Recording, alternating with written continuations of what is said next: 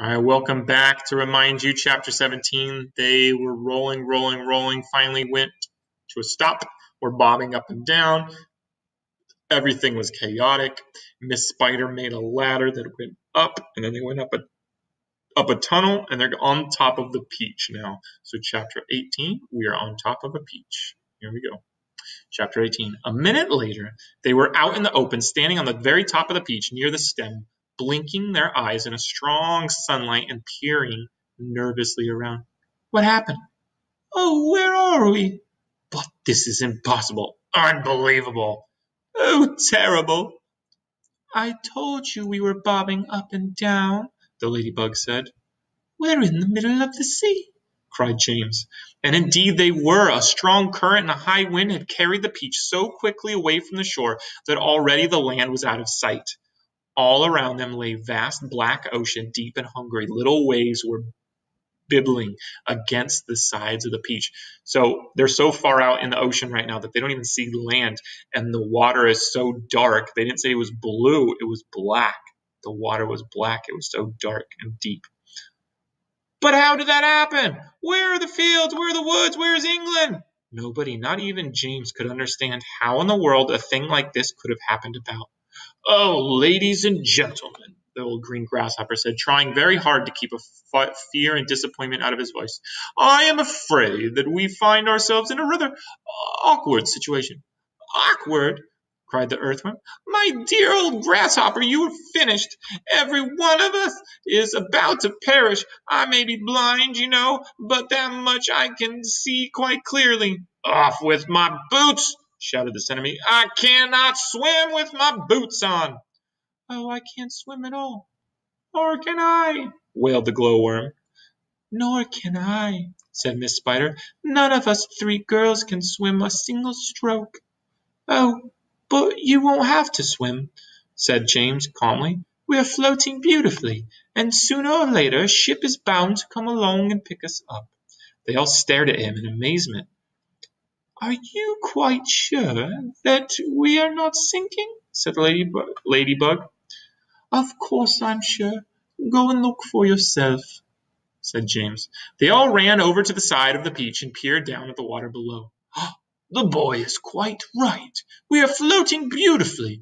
Now we must all sit down and keep perfectly calm. Everything will be all right in the end, said the old green grasshopper.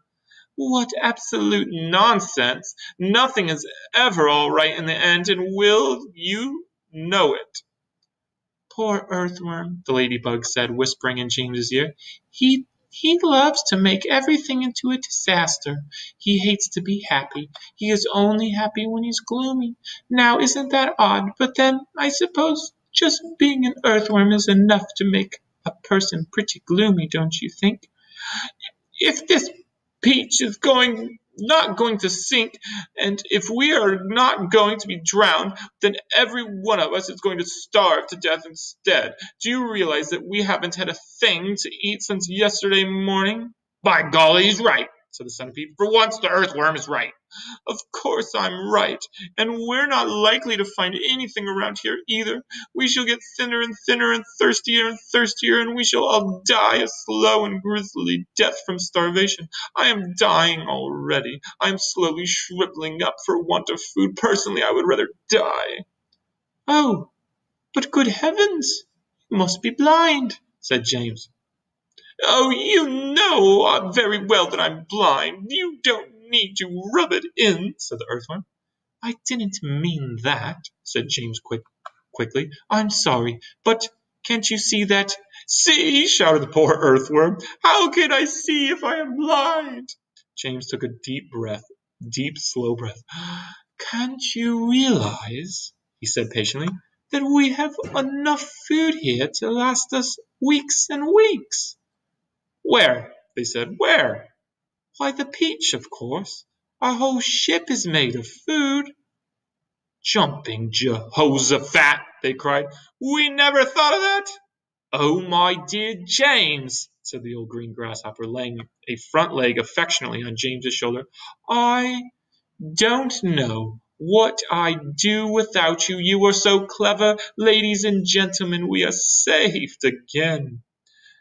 We are most certainly not. You must be crazy. You can't eat the ship. It's the only thing that's keeping us up. Ah, we shall starve if we don't, said the centipede. We, and we shall drown if we do, said the grasshopper, or said the earthworm. Oh dear, oh dear, said the old green grasshopper. Now we're worse off than before.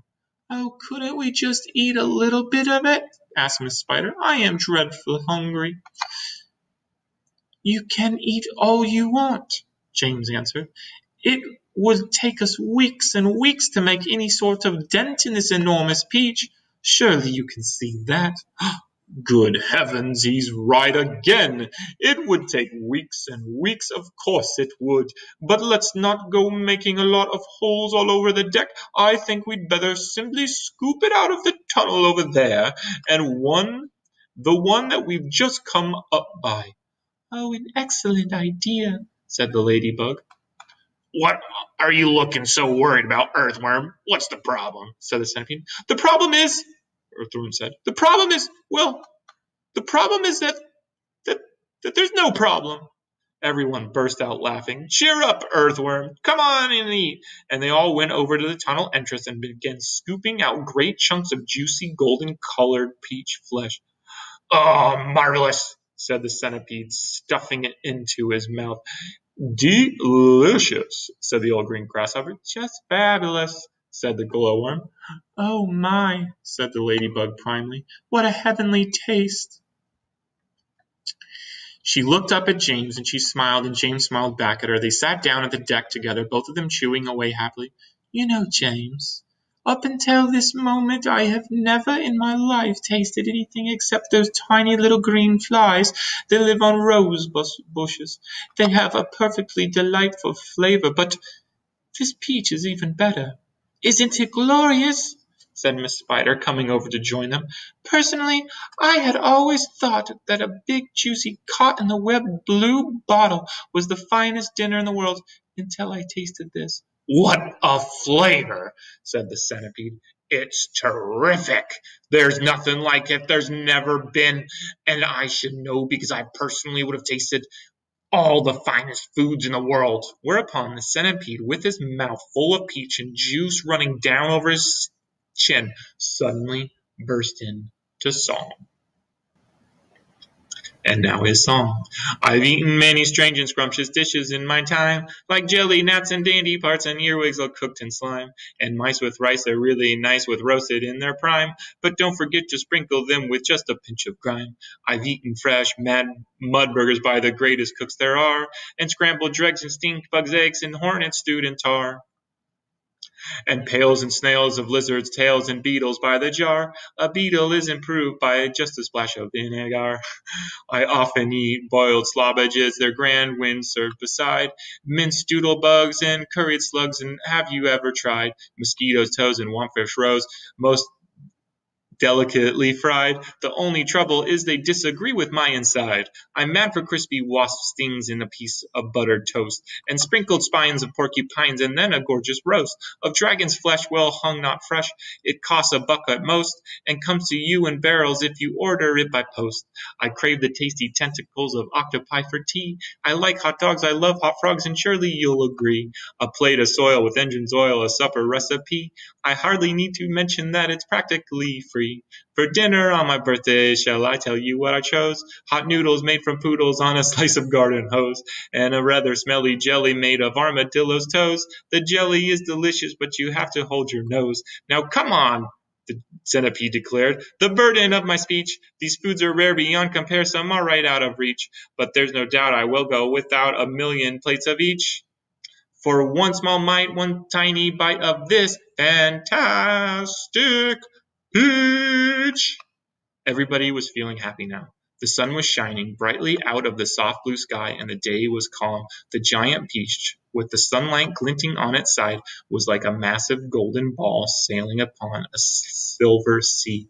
So they were worried on the top of the peach. They didn't know what to do. James came up with the idea. Now they're all happy. Um, Centipede had a whole song about all these things he could eat, but at the end, he's like, I would give up all those wonderful things to eat for this fantastic peach. So they seem to be in very high spirits right now, floating on a peach, in the middle of the ocean, and this Peach, their boat, they get to take bites out of. Uh, so they got food covered, they got shelter covered. What are some other needs they they should have? They can sleep. Miss Spider makes the nest for them, uh, the little hammock beds. What do they need? Huh, I wonder. All right. Hope you enjoyed chapter 18. We will see you later for chapter 19.